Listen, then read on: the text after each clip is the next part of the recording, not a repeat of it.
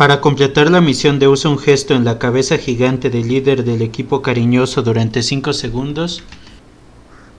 Debemos de ir a la ubicación de Caverna Descontrol, la cual se encuentra justo como les estoy mostrando en el mapa, al lado de Cascadas de la Realidad, en esta montaña. Cuando lleguemos a la ubicación de Caverna Descontrol debemos de aterrizar en la cabeza gigante y cuando estemos dentro realizamos un baile durante 5 segundos.